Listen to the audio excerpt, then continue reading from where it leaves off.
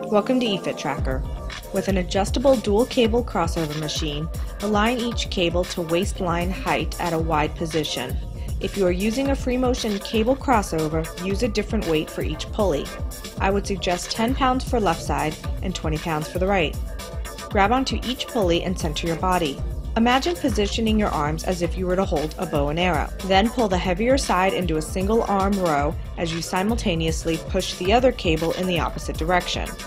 Pivot your back foot and perform a dipping lunge. Avoid hyperextending either arm. For more information, go to efittracker.com.